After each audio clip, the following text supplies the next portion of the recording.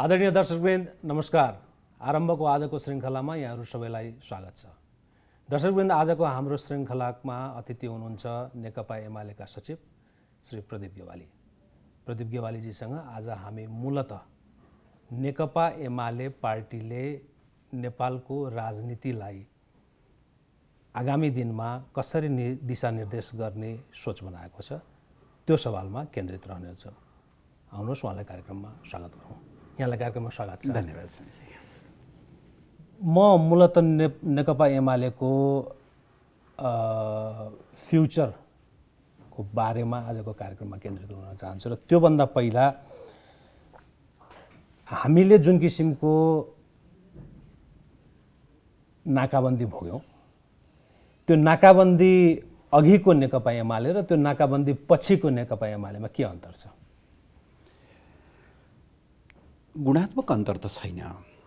राष्ट्रियताका सम्बन्धमा राष्ट्रिय हितका सम्बन्धमा राष्ट्रिय स्वाभिमानका सन्दर्भमा नेकपा एमालेका नीतिहरूमा एउटा निरन्तरता छ।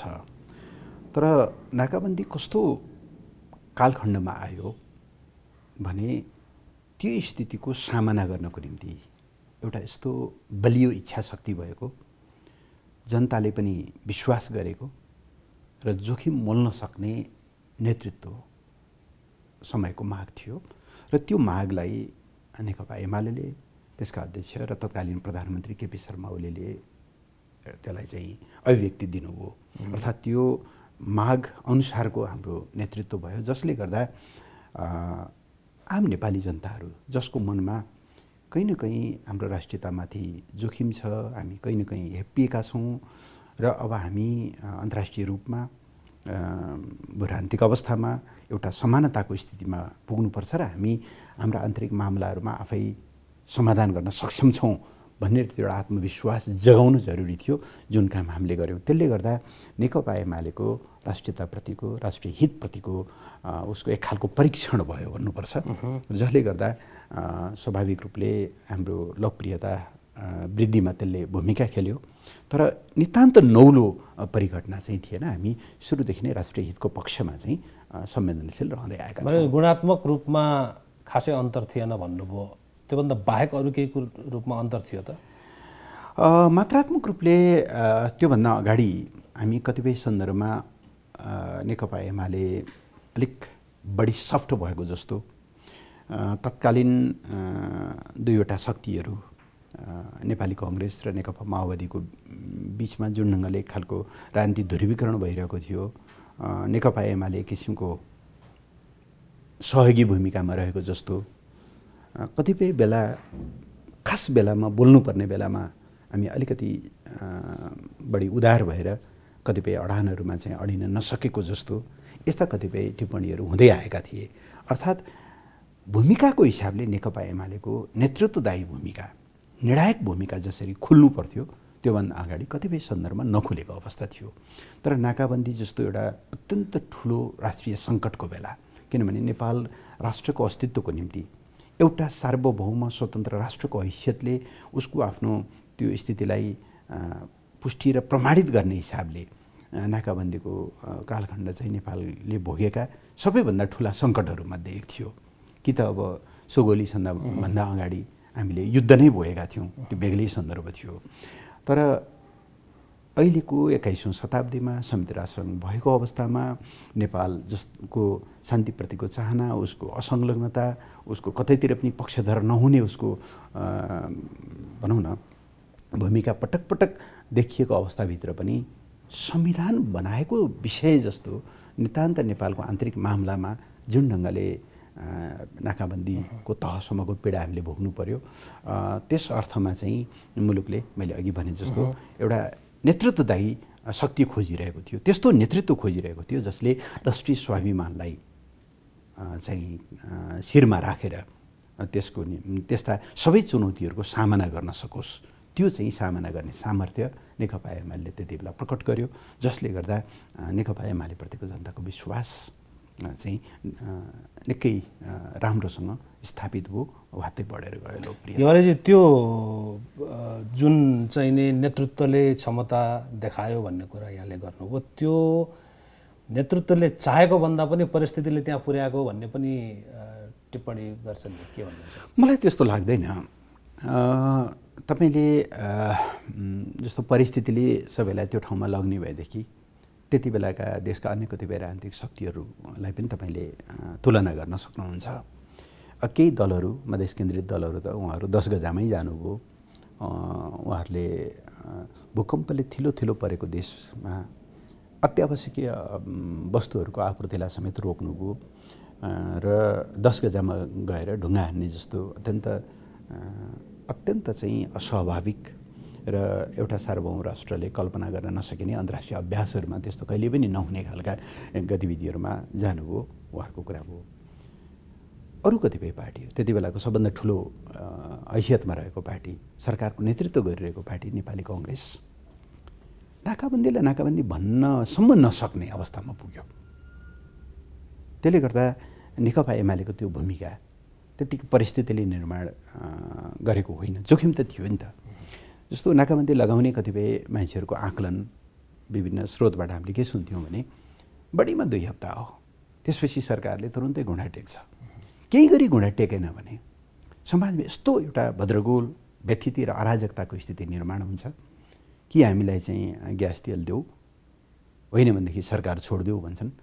मान्छेहरू लाखौँ जनताहरू सडकमा निस्किन्छन् लुटपाट मचिन्छ र त्यो अराजकताले एउटा के स्थापित गर्छ भन्दाखेरि चाहिँ नेपालले चाहिँ आफै एक्लै केही गर्छु स्वतन्त्र भएर केही गर्छु। भन्ने कुरा चाहिँ सक्दैन। त्यो चाहिँ भिडले नै त्यो एउटा बेग्लै दिशा दिन्छ। मान्छेहरूको अनुमान त यस्तो थियो नि त। असाध्यै चुनौतीपूर्ण पनि थियो। भूकम्पले थिलो थिलो परेको छ देश। तपाईँ जनतालाई ग्यास दिन सक्नुहुन्न पेट्रोल दिन सक्नुहुन्न डिजल दिन सक्नुहुन्न। यहाँसम्म कि अत्यावश्यकीय औषधिहरू समेत ट्रकका ट्रक जलेका छन्। त्यस्तो बेलामा सरकारको नेतृत्व गर्नु त्यस्तो बेला देशको नेतृत्व गर्नु।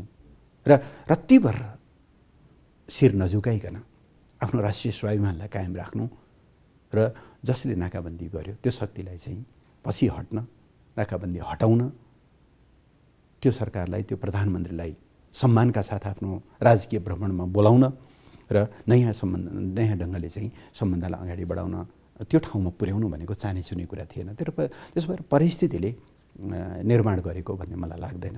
नेक अब परिस्थितिले के निर्माण गर्यो भने अब नेकपा एमाले त्यति बेला सरकारको नेतृत्वमा भयो।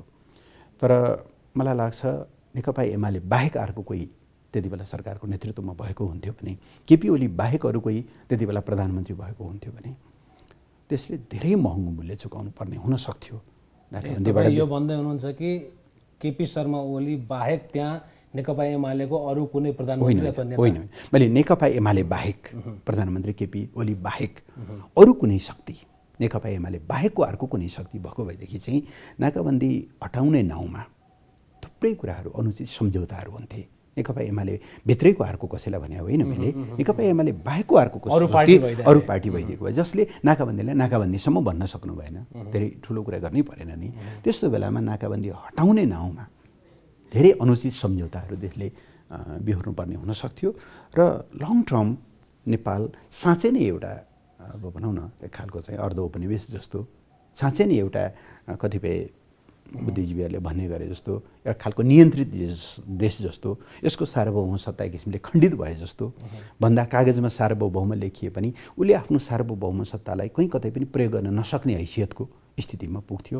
त्यसबाट नेपालको इतिहासमा नाकाबन्दी र नाकाबन्दीको बेलामा नेपालले जे भूमिका खेल्यो तत्कालीन सरकारको नेतृत्वमा त्यसमा म व्यक्ति विशेषलाई मात्रै पनि धेरै कुरा गर्न चाहन्न सिङ्गो देश एकताबद्ध नभएको भए एउटा प्रधानमन्त्री एउटा पार्टीले मात्रै चाहेर हुँदैन थियो सिङ्गो देश नै एकताबद्ध भयो केही नेताहरूले उहाँहरूले चाहिँ जिब्रो चपाउनु भयो केही नेताहरू गलत बाटोमा जानुभयो तर सिङ्गो देश एकताबद्ध भयो भने इरेस्पेक्टिभ जुनसुकै पार्टी जुनसुकै चाहिँ विचार धर्म संस्कृति जेसुकै भए पनि पहाड मधेस सबै सिङ्गो देशले त्यति बेला त्यसलाई आफ्नो राष्ट्रियतामाथि आफ्नो राष्ट्रिय स्वाभिमानमाथिको चुनौती ठान्यो मान्छे दाउरामा पकाएर खान तयार भए मान्छे पैदल हिँड्न तयार भए तर उनीहरू चाहिँ झुक्न तयार भएनन् त्यो चाहिँ नेपालको सार्वभौम सत्तालाई व्यवहारमा प्रयोग गर्ने हिसाबले भन्ने हो भने नेपालको इतिहासको सबैभन्दा ठुलो घटनाको रूपमा मैले लिन्छु नेकपा माओवादीको भूमिका कस्तो थियो? सकारात्मक थियो। उहाँहरू सरकारमा हुनुहुन्थ्यो र उहाँहरूले उहाँहरू समेत भएर हामी चाहिँ सँगसँगै अगाडि बढेका हौँ। विगतमा नेकपा माओवादीले के कस्ता यस्ता सम्झौताहरू गरेका छैनन् जसले गर्दाखेरि उहाँहरूलाई चाहिने आज भन्ने ठाउँ छ कि छैन? नेकपा माओवादीले हाम्रा छिमेकी मुलुकहरूसँग त्यस्ता सम्झौता गरेका छन् कि छैनन्? अब दुईवटा सन्दर्भ चाहिँ कोट्याउनुपर्छ यद्यपि उहाँहरूले आफैले पनि त्यसलाई समीक्षा गर्नुभयो होला भन्ने मलाई लाग्छ। एउटा अब सशस्त्र द्वन्द्वकालमा लामो समयसम्म भारतमा उहाँहरूले आश्रय लिनुभयो त्यो रियालिटी हो। र त्यति बेला खास गरी वाजपेयी प्रधानमन्त्री भएको बेला उहाँले लेखेको एउटा चिठी जो पछि एसडी मुनिले त्यसलाई सार्वजनिक गरिदिनु भयो त्यो चिठी विवादित छ। र भारतको कोर इन्ट्रेस्टमा चाहिँ अथवा क्रिटिकल इन्ट्रेस्टहरूमा हाम्रो तर्फबाट कुनै पनि आघात पुग्ने छैन भन्ने ढङ्गले एउटा राष्ट्रियताको निम्ति भनेर लडेको पार्टीले त्यो चिठी लेख्नु अब त्यो चाहिँ उचित थियो भन्ने लाग्दैन त्यसलाई जस्टिफाई गर्न सकिँदैन। अब उहाँहरूका आफ्ना के बाध्यताहरू थियो होला नि युद्ध चलाउने बेलामा द्वन्द्व अगाडि बढाउने सन्दर्भमा केही कुरा भएको छ? कुराकानीहरू भएका छन् र धेरै घटनाक्रमहरूको उतार चढावबाट नै नेकपा माओवादी यहाँ आइपुगेको छ। हामी अहिले चुनावी सहकार्य गर्दै पार्टी एकता गर्ने बिन्दुमा पुगेका छौँ। तर यी सबैको निष्कर्ष के हो भने म कुनै घटना विशेषमा जान चाहन्न। यी सबैको निष्कर्ष के हो भनेदेखि देशको निम्ति राजनीति गर्ने पार्टीले सबभन्दा पहिले उसले हेर्ने भनेको आफ्नो देशको राष्ट्रिय हित हो। अझ त्यसमाथि पनि हाम्रो जस्तो भूरान्तिक अवस्थामा बसेको देशमा जहाँ हामीले असाध्यै सजगताका साथै अगाडि बढ्नुपर्ने हुन्छ। कहिलेकाहीँ शक्ति केन्द्रहरूले विभिन्न ढङ्गले चाहिँ त्यसलाई आफ्नो हितमा प्रयोग गर्ने कोसिस गर्छन्। त्यस्तो बेलामा चाहिँ अत्यन्त सजग भएर अगाडि बढ्नुपर्ने हुन्छ। त्यो चिठीको सन्दर्भ र पछाडि प्रचण्ड प्रधानमन्त्रीको भारत भ्रमणमा जानु हुँदाखेरि खास गरी त्यसको अहिले बुँदा नम्बर ठ्याक्कै बिर्सेँ मैले सायद एघार नम्बर थियो जस्तो लाग्छ। एउटा बुँदामा चाहिँ नेपाल र भारत संयुक्त राष्ट्रसङ्घ लगायत द्विपक्षीय के अरे सबै अन्तर्राष्ट्रिय मामलाहरूमा संयुक्त राष्ट्रसङ्घ लगायत सबै मञ्चहरूमा चाहिँ संयुक्त रूपले प्रस्तुत हुनेछन् र सब मुख्य मुख्य अन्तर्राष्ट्रिय मुद्दाहरूमा चाहिँ साझा धारणा बनाउनेछन् भन्ने कुरा पनि उचित थिएन। किनभने सबै प्रमुख अन्तर्राष्ट्रिय मुद्दाहरूमा चाहिँ नेपाल र भारतको नेपाल र चिनको एउटै इन्ट्रेस्ट नहुन सक्छ। उहाँहरू शक्ति राष्ट्र हो। शक्ति राष्ट्रका आफ्ना इन्ट्रेस्टहरू हुन सक्छन्। त्यो इन्ट्रेस्टमा हामी कहिले पनि साथ दिन सक्दैनौँ। त्यस्ता कुराहरूमा हामी त्यसको अङ्ग बन्न सक्दैनौँ। हामीले मैले फेरि पनि दोहोऱ्याएर भन्छु शक्ति राष्ट्रहरूका आफ्ना प्रतिस्पर्धाहरूबाट हामीले आफूलाई बचाएर नै अगाडि बढ्न सक्छौँ। यस्ता केही केही कुराहरूमा बेला मौकामा कमजोरीहरू रहने गरेका छन्। तर अब मलाई लाग्छ अहिले यहाँसम्म आइपुग्दाखेरि उहाँहरू आफैले पनि धेरै उतार चढावहरू बिहोर्नु भएको छ। हामीले पनि काफी अनुभवहरू हासिल गरेका छौँ र एउटा परिपक्व विदेश नीति अवलम्बन गर्ने ठाउँमा हामी पुगेका छौँ भन्ने मलाई दलगत हिसाबले नेपालको इतिहासको विभिन्न चरणमा अथवा विभिन्न कालखण्डमा नेपाली राजनीतिक दलहरूबाट कमी कमजोरीहरू भएका छन् तथापि यहाँसम्म आइपुगेको स्थिति छ। निश्चय नै अब कस्तो छ भन्दाखेरि हामी कहाँ चाहिँ राष्ट्रियता र लोकतन्त्र नेपाली जनताका सरोकारका दुईवटा प्रमुख विषयहरू। यी विषयहरूको बिचमा एउटा उचित सन्तुलन हिजो पञ्चायतकालमा पनि कतिपय बेलामा मिल्न सकेन। जस्तो लोकतन्त्र प्राप्तिको निम्ति लडाइँ लडिरहँदा राष्ट्रियताका कतिपय पक्षहरू अलिकति ओझेलमा पारे पारे जस्तो देखिने त्यसलाई लो प्रोफाइलमा राखेको देखिने। अनि राष्ट्रियताको कुरा गरिरहँदाखेरि लोकतन्त्रलाई चाहिँ ओझेलमा पारेको जस्तो देखिने। त्यति बेला पञ्चायतकालको कुरा गर्नुहुन्छ भने राजतन्त्रले पञ्चायती शासकहरूले राष्ट्रियताको नाउँमा लोकतन्त्रलाई चाहिँ समाप्त पार्ने हत्या गर्ने त्यो एउटा बाटो अगाडि बढेका थिए। राष्ट्रियतालाई उनीहरूले आफ्नो अलोकतान्त्रिक निरङ्कुश सत्ताको वैधताका निम्ति प्रयोग गर्न खोजिरहेको अवस्था थियो। त्यसको काउन्टरमा जाँदा लोकतान्त्रिक शक्तिहरू पनि उत्तिकै राष्ट्रियताप्रति संवेदनशील हुनु पर्थ्यो तर राष्ट्रियताको मुद्दा अलिकति ओझेलमा परेको जस्तो त्यति बेला देखियो। त्यस भएर विभिन्न दलहरूका राष्ट्रियताका सम्बन्धमा नीतिहरूमा विभिन्न समयमा गम्भीर कमजोरीहरू देखा पर्न थालेका छन्। आज पनि कहिलेकाहीँ त्यस्तो समस्याहरू देखिन्छ। र अब अहिले आइपुग्दाखेरि मोरलेस म कस्तो देख्छु भने चार पाँचवटा कुराहरूमा एक खालको जनरल अन्डरस्ट्यान्डिङ जस्तो आम समझदारी जस्तो। पहिलो नेपालको राष्ट्रियता भनेको बिल्कुल नेपालको राष्ट्रिय हितको रक्षा हो। यो कुनै देशको विरोध या कुनै देशको समर्थन होइन। यो चाहिँ मूलत राष्ट्रिय हितको रक्षा हुन त अब कतिपय मान्छेहरूले राष्ट्रियताको कुरा गर्दाखेरि राष्ट्रवादलाई कोट अनकोट उल्लेख गर्ने राष्ट्रियतालाई कोट अनकोट उल्लेख गर्ने र राष्ट्रवादी हुनु राष्ट्रियताको कुरा गर्नु नै मानव चाहिँ भयङ्कर अपराध गरे हो कि जस्तो गरिकन चाहिँ त्यसलाई लान्छना लगाउने खालका कामहरू पनि गर्छन्। अब उनीहरूका त्यस्ता नियतै खराब भएका मान्छेहरूको बारेमा त के टिप्पणी गर्नु र अन्यथा नेपालको राष्ट्रिय हित चाहिँ नै नेपालको राष्ट्रियताको मूल चुरो हो। भन्ने कुरामा एक खालको जनरल अन्डरस्ट्यान्डिङ बनेको देखिन्छ। दोस्रो सबै दलहरूमा? मोररलेस मोररलेस हजुर। दोस्रो अब नेपालले चाहिँ दुइटै छिमेकीहरूसँग एउटा सन्तुलित सम्बन्ध कायम गरेर अगाडि बढ्नुपर्छ। हामीसँग दुइटै छिमेकीहरू छन्। त्यसो गर्दाखेरि एउटा छिमेकीसँग बढी निकटको सम्बन्ध अर्कोसँग अलिक टाढाको सम्बन्ध होइन। कुनै एउटा निकट कुनै छिमेकीसँग चाहिँ विशेष सम्बन्ध होइन। विशेष भन्ने जुन एउटा विशेष भन्ने भित्र जुन पोलिटिकल कनोटेसन छ त्यसको त्यस अर्थमा विशेष सम्बन्ध होइन। दुइटै देशहरूसँग चाहिँ एउटा घनिष्ठ आत्मीय सम्बन्ध कायम गर्नुपर्छ र यो सम्बन्ध हाम्रो सन्तुलित हुनुपर्छ भन्ने कुरामा पनि एक खालको जेनरल अन्डरस्ट्यान्डिङ बढ्दै गएको म पाउँछु। तेस्रो कुरा चाहिँ अबको हाम्रो बाह्य सम्बन्धको केन्द्रबिन्दुमा चाहिँ आर्थिक पक्षलाई विकासलाई समृद्धिलाई बढी केन्द्रबिन्दुमा राख्नुपर्छ। विगतमा कतिपय बेला दुई देश बिचका सम्बन्धहरूलाई प्रभावित गर्ने फ्याक्टर चाहिँ कहिले सुरक्षा कहिले चाहिँ पोलिटिकल कुराहरू ती पक्षहरू अलि बढी प्रिभेल गरे। तर अब ती कुराहरू होइन। सबभन्दा बढ्ता चाहिँ आर्थिक विकास र समृद्धि दुवै देशको हितमा अधिकतम दुवै देशका जनताको चाहिँ अधिकतम हितमा हुने गरी चाहिँ ती पक्षहरूलाई चाहिँ ध्यान दिनुपर्छ। यस्ता केही जनरल अन्डरस्ट्यान्डिङहरू बनेको म देखि देख्छु र नाकाबन्दी यतापट्टिको अर्को ठुलो उपलब्धि के हो भनेदेखि नेपाली जनतामा राष्ट्रियताप्रतिको राष्ट्रिय संवेदनशीलताप्रतिको त्यो एउटा चाहिँ जागरण अभूतपूर्व ढङ्गले बढेको छ। अब कुनै शासकलाई अब कुनै शक्तिलाई चाहिँ सजिलै राष्ट्रिय हितलाई चाहिँ परित्याग गर्नु त्यति सजिलो छैन। छैन।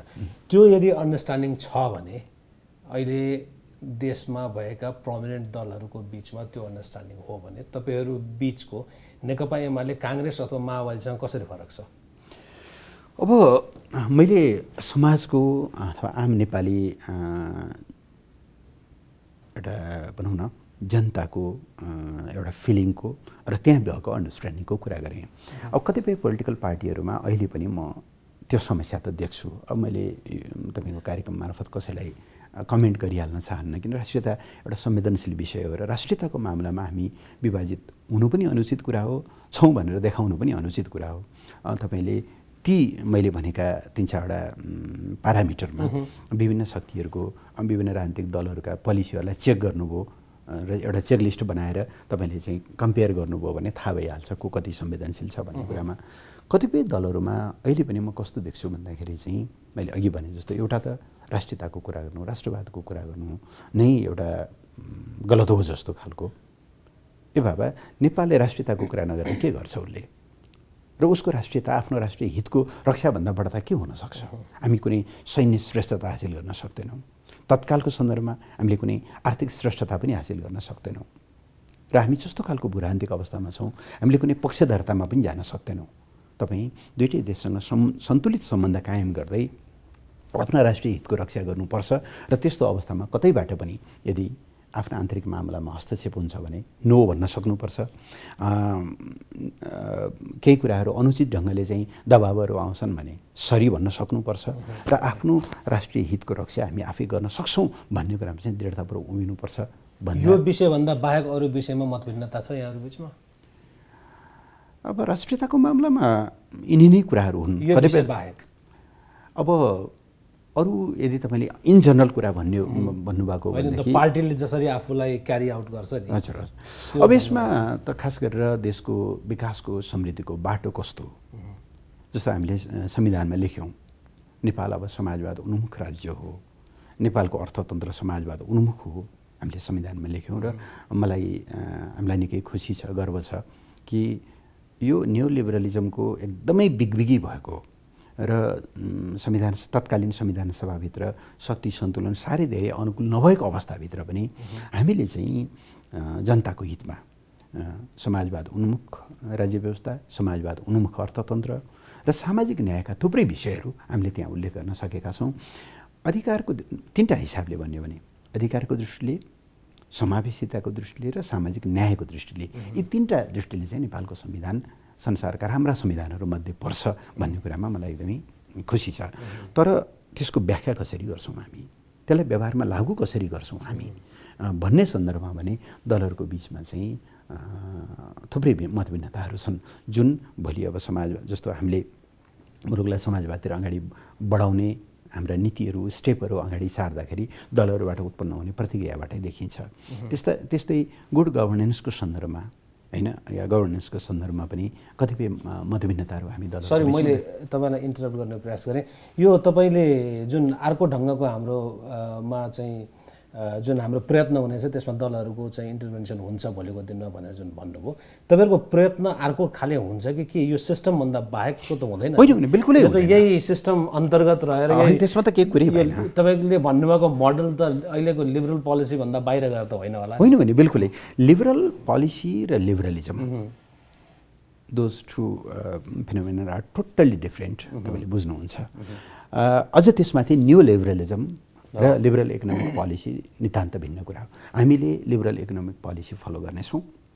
हाम्रो संविधानले नै भन्छ हाम्रो उदार खुला अर्थतन्त्र हुनेछ। त्यहाँ त्यसका तिनवटा कम्पोनेन्ट हुनेछन्। राज्यको एउटा लिडिङ रोल हुनेछ। प्राइभेट सेक्टरको एकदम भाइब्रेन्ट र कन्ट्रिब्युसन हुनेछ। र हामीले चाहिँ सहकारीलाई समेत पर्याप्त मात्रामा प्रमोट गर्नेछौँ। यी तिनवटा अर्थतन्त्र जसलाई हामीले चाहिँ तिनवटा पिलरको अर्थतन्त्र बन्न सक्छौँ त्यस बाटोबाट हामी अगाडि बढ्छौँ। त्यो त हामीलाई संविधानले नै दिएको छ। त्यसो भएर हाम्रो सबै दलहरू मररलेस एग्री पनि गर्छ। मररलेस एग्री गर्छन्। खालि त्यसको व्याख्या कसरी गर्छन् भन्ने कुरा हो। तर यति हुँदाहुँदै पनि हाम्रो समाजमा अहिले पनि राज्यको रोलको विषयलाई लिएर कतिपय मतभिन्नताहरू देखिन्छ। संविधानमा हामीले एउटा लेखिरहेका छौँ। तर जस्तो हामी के भन्छौँ भनेदेखि राज्यले सर्टेन सेक्टरमा लिडिङ रोल नगरिकन हाम्रो जस्तो देशले अर्थतन्त्रमा फड्को मार्नै सक्दैन। सबै कुरा प्राइभेट सेक्टरलाई या सबै कुरा कोअपरेटिभ्सलाई दिएर या सबै कुरामा चाहिँ खालि प्रत्यक्ष वैदेशिक लगानी एफडिआई मात्रै भित्राएर पनि पुग्दैन। केही सेक्टरहरू हुन्छन् जहाँ राज्यले चाहिँ लिड गर्छ। सामाजिक क्षेत्र त भइ नै हाल्यो। शिक्षा स्वास्थ्य जस्ता कुराहरू त त्यो अरू कसैलाई दिएर पार लाग्ने कुरा पनि भएन। त्यो त राज्यको आफ्नो दायित्वभित्र पर्छ। तर ठुला ठुला पूर्वाधारहरू पनि जस्तो अहिले हामीले चाहिँ काठमाडौँ तराई फास्ट ट्र्याक नेपाल आफैले बनाउने भन्यौँ। छ छिहत्तर किलोमिटरको बाटो कुनै प्राइभेट सेक्टरलाई या कुनै विदेशी कम्पनीलाई दिनै हुँदैन हाम्रो सिद्धान्त विपरीत हुन्छ पनि भन्नु खोजेको होइन। तर राज्य एउटा चेक एन्ड ब्यालेन्सको रूपमा एउटा चाहिँ त्यो शक्तिको रूपमा रहेन भने राज्यले केही कुरामा एउटा स्ट्यान्डर्ड स्थापित गर्न सकेन। उसले चाहिँ त्यो एउटा प्यारामिटरहरू स्थापित गर्न सकेन भनेदेखि चाहिँ प्राइभेट सेक्टरहरू पनि रेगुलराइज हुँदैनन्। त्यस कारणले गर्दाखेरि अब यसमा यस्ता प्रश्नहरूमा राज्यको रोल कस्तो हुनुपर्छ भन्ने सन्दर्भमा तपाईँ दुई विधाहरू देख्नुहुन्छ। त्यसो भएर कतिपय सन्दर्भमा चाहिँ मधुविन्नताहरू छन् संविधानको स्पिडलाई बुझेर जाने हो भनेदेखि समस्या होइन। संविधान त हाम्रो साझा दस्तावेज हो। अरू कतिपय कुराहरूमा चाहिँ कतिपय दलहरूका फरक मतहरू छन्। तर मैले भनेका यी आर्थिक या अहिलेका हाम्रो विदेश नीतिहरूको बारेमा कुनै पनि दलले फरक मत राखेको छैन। त्यसबाट संविधानको स्पिड अनुसार जाँदा दलहरूको बिचमा फरक हुनु नपर्ने हो। त्यसो हुँदाखेरि चाहिँ जुनसुकै दलहरूको सरकार आउँदाखेरि पनि दलको सरकार आउँदाखेरि पनि मुलुकको मुख्य आर्थिक नीति मुलुकको मुख्य विदेश नीति जस्ता प्रश्नहरूमा चाहिँ ठुलो फ्लक्सिएसन नहुनुपर्ने हो। तर संविधानमा लेखिएको कुरा एउटा छ कतिपय दलहरूको बुझाइमा या उनीहरूको चाहिँ उद्देश्यमा अलिकति भिन्नता छ त्यसले गर्दाखेरि कतिपय भिन्नता त्यो चाहिँ भिन्नता प्रकट हुनसक्छ त्यही भएर मैले भन्न खोजेको यो बाटोमा हामी अगाडि बढ्दै जाँदा दलहरूको प्रतिक्रिया कस्तो हुन्छ त्यसले उनीहरूलाई टेस्ट गर्छ। अब अब अलिकति चाहिँ तपाईँको नेकपा एमाले धेरै हाबी भयो भने स्वभाव त तपाईँको राजनीतिमा चाहिँ अरू दलहरूले एक किसिमको विरोध अथवा एक किसिमको इन्टरभेन्सन त गर्लान् अथवा र एउटा आशंका कहाँ पनि रहला भने केही दिन अगाडि मात्रै यहाँको दलको अध्यक्षले मनी लन्ड्रिङको सन्दर्भमा केही अभिव्यक्तिहरू दिनुभएको थियो। त्यस्ता कुराहरूलाई लिएर पनि मानिसहरूले चाहिँ अब उहाँहरूले कसरी लिड गर्ने हो यो किसिमको अभिव्यक्ति भएको छ भन्ने पनि कुराहरू एकदमै सान्दर्भिक प्रश्न उठाउनु भयो। मलाई त्यो कुरा स्पष्ट पार्नु जरुरी पनि थियो। तपाईँले मौका दिनुभयो। धन्यवाद भन्छु। त्यो कार्यक्रममा म पनि थिएँ। नेपाल चेम्बर अफ कमर्सको मलाई लाग्छ सिक्सटी सेभेन्थ उहाँहरूको चाहिँ एनुअल कन् कन्भेन्सन कन्भेन्सनबाट नयाँ नेतृत्व आएको थियो जसलाई हामीले चाहिँ बधाई दिने कार्यक्रम राखेका थियौँ। प्राइभेट सेक्टरबाट उहाँहरूले आर्थिक विकासमा चाहिँ अगाडि बढ्दा कहाँ कहाँ अवरोधहरू छन्? अहिलेका नीतिहरूमा कहाँ समस्या छ? अहिलेका ऐनहरूमा कहाँ समस्या छ? अहिलेको स्ट्रक्चरमा कहाँ समस्या छ? उहाँहरूले केही समस्याहरू राख्नुभयो। त्यही समस्याहरूलाई रेस्पोन्ड गर्ने सन्दर्भमा अध्यक्ष केपी शर्मा ओलीले चाहिँ ती भनाइहरू राख्नुभएको हो। कहीँ कतै पनि म त्यसलाई ट्रान्सक्राइब गरेर तपाईँलाई दिउँला दिन सक्छु। त्यो तपाईँले अडियो भिडियो सबै हेर्न सक्नुहुन्छ। कहीँ कतै पनि किनभने यहाँलाई जानकारी गराउँ सङ्गठित अपराध र यो मुद्रा निर्मलीकरणसँग सम्बन्धित जति पनि त्यति बेला हामीले कानुनहरू बनायौँ नेपाल त एकचोटि ब्ल्याकलिस्टेड हो, भइसकेको थियो। म पनि त्यो पार्लियामेन्टमा थिएँ र त्यो पार्लियामेन्टमा हामीले निकै जोडबोल गरेर किन त्यति बेला बुझाइमा ठुलो समस्या थियो। अब माओवादी ठुलो पार्टी थियो नेपाली काङ्ग्रेसको अरू हामी सबै त्यहाँ थियौँ। कतिपय यस्ता खालका कुराहरूले चाहिँ जस्तो सङ्गठित अपराध त्यससँग जोडिएर आउँछ होइन। यस्ता कतिपय कुराहरूमा बुझाइमा समस्या रहेको कारणले टाइममा ती विधेयकहरू पास नहुँदा चाहिँ नेपाल केही समयसम्म चाहिँ शङ्काको घेराभित्र रह्यो। तर पछि हामीले यो ढङ्गले जान दिनु हुँदैन। हामी चाहिँ अन्तर्राष्ट्रिय समुदायले जुन ढङ्गले चाहिँ अहिले सङ्गठित अपराधको विरुद्ध यो मुद्रा अपचलनहरूका विरुद्ध जुन ढङ्गले चाहिँ एउटा लडाइँ लडिरहेको छ नेपाल त्यसको पार्ट बन्नुपर्छ भनेर हामी नै हौँ त्यसलाई। अग्रसर भएर यो प्रस्तावलाई पारित गर्ने। त्यसबाट नेकपा एमाले त्यहाँबाट ब्याक ट्र्याक गर्ने त कुनै सम्भावनै छैन। अध्यक्षको भनाइ के मात्रै थियो भन्दाखेरि अहिलेसम्म मनी लन्ड्रिङ सम्बन्धी हाम्रा व्यवहार कस्तो देखियो भन्दाखेरि उहाँले नै प्रयोग गरेको मेटाफोर मुसाको दुलोमा गएर चाहिँ साँचो थापे जस्तो मात्रै हो। वास्तवमा त्यो लुकेको कहाँ कहाँ छ त्यो पो चाहिँ बाहिर ल्याउनु पर्ने हो। बाहिर ल्याएर जे गर्नुपर्ने हो त्यसलाई चाहिँ अपराध हो भने अपराधको हिसाबले त्यसलाई चाहिँ कारवाही गर्नुपर्नेमा मुद्रा लुकेको लुकै भयो। होइन हाम्रो भूमिका भनेको चाहिँ त्यो तालचा लगाए। जस्तो मात्रै हो। अर्थात् त्यसको विरुद्धको हाम्रो लडाइँ कमजोर भयो। भन्ने अर्थमा उहाँले त्यो भन्नुभएको र अर्को उहाँले के भन्नुभएको भने एउटा दुई हिसाबले हेर्नुपर्छ। एउटा स्रोत नखुलेको सम्पत्ति एउटा स्थिति सबै स्रोत नखुलेको सम्पत्ति चाहिँ के भन्दा अपराधबाटै सृजना भएको हुन्छ भन्ने होइन। स्रोत नखुलेको अथवा करको दायराभित्र नआएको सम्पत्तिको एउटा कुरा हुन्छ। मुद्रा चाहिँ लन्ड्रिङको हिसाबले गरेको चाहिँ त्यस ढङ्गले कमाइएको कालो धनको कुरा अर्को कुरा हुन्छ। दुइटा दुइटै इलिगल नै हुन्। कर नतिरिकन तपाईँले पैसा थुपार्नु पनि इलिगल नै हो। तर त्यो दुइटा ठ्याक्कै एउटै चाहिँ होइनन् होइन? त्यो दुइटा अलिक फरक फरक खालका कुराहरू पनि हुन्। त्यस अर्थमा उहाँले भन्नुभएको त्यस कारणले तर त्यसलाई जसरी पछाडि व्याख्या गर्न खोजियो कि चाहिँ यो भनौँ न कालो धनलाई पनि सेतो बनाउने गरिकन चाहिँ त्यो ढङ्गले पनि नेकपा एमाले जान्छ कि भनेर त्यो बिल्कुल गलत कुरा हो। जानु सम्भव नै छैन किन हाम्रा अन्तर्राष्ट्रिय दायित्वहरू छन् हाम्रा अन्तर्राष्ट्रिय कमिटमेन्टहरू छन् र नेकपा एमाले त्यस्तो खालको कुराहरू कल्पना पनि गर्दैन। जबकि हाम्रो एउटा मुख्य नारा भनेकै सुशासनको छ। सुशासन सुशासन भन्दा बित्तिकै भ्रष्टाचार भ्रष्टाचारद्वारा आर्जित सम्पत्तिहरू कालो धनका कुराहरू या चाहिँ यी सबै कुराहरूको विरुद्ध लडेर जब हामी चाहिँ मुलुकलाई एउटा गुड गभर्नेन्स दिने भन्दैछौँ भन्दाखेरि त्यो त कल्पनाभन्दा बाहिरको कुरा हामी त्यसरी कहिले पनि त्यो गर्ने छैनौँ। अब अहिले नेकपा माओवादीसँग आएर तपाईँहरूको जुन पार्टी मर्ज हुने चाहिँ जुन प्रोसेस भइरहेछ यो किन अहिले रोकिएको? यहाँहरूलाई के भनिन्छ भने नेकपा एमालेलाई माओवादी पार्टीका अध्यक्ष प्रचण्ड कमरेडलाई आफ्नो अध्यक्ष मान्नलाई अप्ठ्यारो भइरहेछ भनिन्छ। होइन पहिलो कुरा त म यहाँलाई प्रश्न पारौँ यो रोकिएको छैन। आफ्नै लय आफ्नै गति र आफ्नै प्रक्रियाबाट अगाडि बढिरहेको छ। स्मुथली नै अगाडि बढिरहेको छ। तपाईँले चारवटा स्टेप हेर्नुभयो भने यो हाम्रो समझदारी कति झन्झन गाढा बन्दै गइरहेको छ भन्ने कुरा तपाईँ देख्नुहुन्छ। हामीले चुनाव अगाडि चुनावी तालमेलको घोषणा गऱ्यौँ चुनावमा गयौँ र असाध्यै राम्रो रिजल्ट लिएर आयौँ। त्यस पछाडि हाम्रा लागि राष्ट्रिय सभाको चुनाव थियो। राष्ट्रिय सभाको चुनावमा हामीले असाध्यै राम्रोसँग समझदारी बनायौँ र त्रिचालिस सिटमध्ये उन्तिस सिट नेकपा एमाले लड्ने र चौध सिट चाहिँ माओवादीले लड्ने गरी एकदमै राम्रो समझदारी बनायौँ दोस्रो स्टेप। तेस्रो स्टेप वामपन्थीहरूले जितेका छवटा प्रदेशहरूमा चारवटा प्रदेशमा नेकपा एमाले र दुईवटा प्रदेशमा चाहिँ माओवादी केन्द्रले चाहिँ सरकारको नेतृत्व गर्ने गरी अत्यन्त सहजतापूर्वक हामीले टुङ्ग्यायौँ। संविधानमा कुल प्रदेश सदस्य सङ्ख्याको बिस प्रतिशतसम्म मन्त्री बन्न सक्ने त्यो एउटा लेभरेज हुँदाहुँदै पनि त्यसो गर्नु गलत हुन्छ भनेर हामीले चाहिँ म्याक्सिमम् मन्त्रीहरूको सङ्ख्या चाहिँ एघारजना घटीमा सातजना गरिकन संविधानले मा भएको त्यो एक खालको म त्यसलाई चाहिँ गल्ती नै भन्छु त्रुटि नै भन्छु। त्यो त्रुटिलाई करेक्सन गर्ने कामहरू कमसेकम हामी आफू त कमिटेड बन्न सक्ने भयो नि त। त्यो कुराहरू गऱ्यौँ। र भोलि बन्ने सरकारको प्राथमिकता के हुन्छ? सुशासन समृद्धि र विकासका उसका प्राथमिकताहरू के हुन्छन् कुन बाटोमा अगाडि बढ्छ भन्ने सन्दर्भमा पनि त्यसको एउटा खाका कोर्नको निम्ति कार्यदल बनेर त्यसले काम गरिरहेको छ। अर्थात् हरेक कुराहरू एकदमै समझदारीका साथ अगाडि बढिरहेका छन्। अब पार्टी एकता चौथो स्टेप के भन्नुभयो त्यही त्यो अब आउने सरकारको चाहिँ नीतिहरू पनि हामीले सँगसँगै बनाइरहेका छौँ। अर्थात् कहीँ कतै दुविधा छैन। अब जहाँसम्म पार्टी एकताको सङ्गठनात्मक व्यवस्थापनको कुरा हो त्यसका निम्ति दुईवटा अध्यक्षको बिचमा उहाँहरू निरन्तर बसिरहनु भएको छ। थुप्रै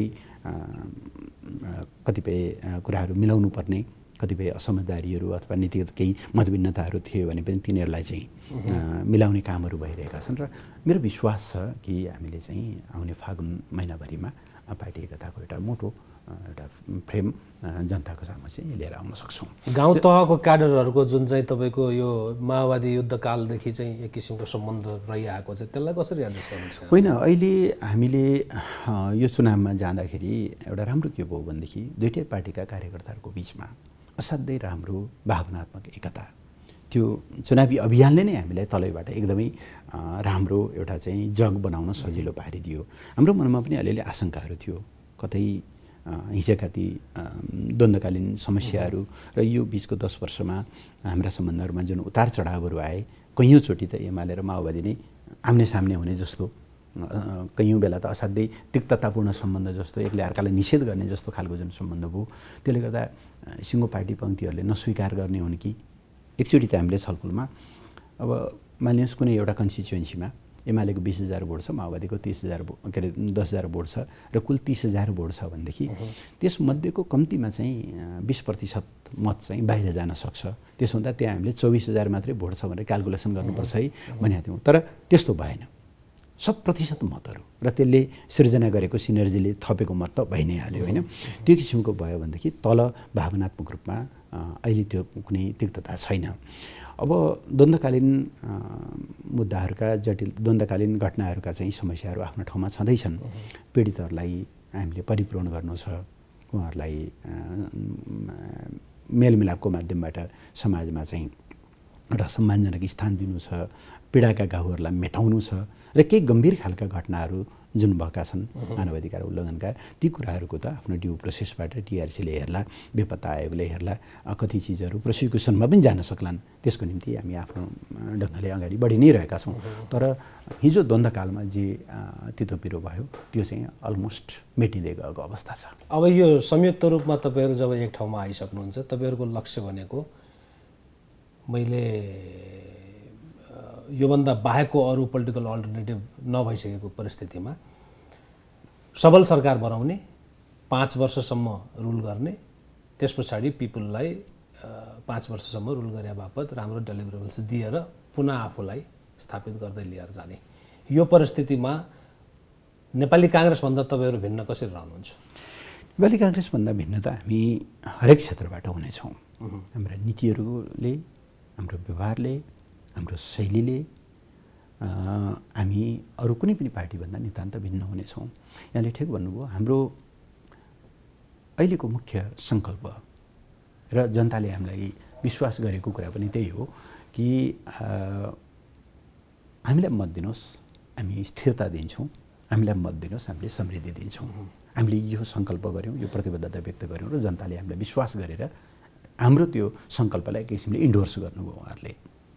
त्यसो भएर पहिलो कुरा त बलियो स्टेबल सरकार हामीले दिनेछौँ। जुन सरकार स्टेबिलिटी स्टेबिलिटी हुने बित्तिकै एउटा स्टेबल र स्ट्रङ सरकार हुने बित्तिकै अहिले देखा परेका कैयौँ जुन समस्याहरू छन् नि हामी कहाँ कुनै पनि चिजहरू टाइममा डेलिभरी नहुने कुनै एउटा प्रोजेक्ट समयमा सम्पन्न नहुने कर्मचारीहरू असाध्यै एक किसिमले चाहिँ गैर जिम्मेवार बनेर प्रस्तुत हुने नीतिहरूमा कहिले पनि एक खालको कन्सिस्टेन्सी नहुने जुन एउटा स्थिति छ ती कुराहरू अन्त्य हुनेछन् र एउटा नीतिगत स्पष्टताका साथ हामी अगाडि बढ्नेछौँ हामीले बेन्चमार्क तोकेका छौँ। पाँच वर्षमा हामीले नेपाललाई अति अल्प विकसित अवस्थाबाट विकासशील बनाउँछौँ र दस वर्षमा मध्यम आय भएको मुलुकमा पुर्याउँछौँ भनेर भनेका छौँ। झ्याट्टै हेर्दा एम्बिसस लागे पनि यी चाहिँ पुरा गर्न नसकिने लक्ष्यहरू होइनन्। हामी यसरी काम गर्नेछौँ कि वास्तवमा यी जनताको सरकार भने त यस्तो पो हुँदो रहेछ। गर्न चाहँदा त यति छिटो यति ठुल्ठुला परिवर्तनहरू आउने आउने रहेछन् नि भन्ने कुराहरू मान्छेले अनुभूत गर्नेछन्। हामीले आफ्ना हितमा होइन दलीय हितमा पनि होइन देशको हितलाई केन्द्रबिन्दुमा राखेर देशको हित हुँदा दलको पनि हित हुन्छ भने त्यो स्वाभाविक कुरा भयो।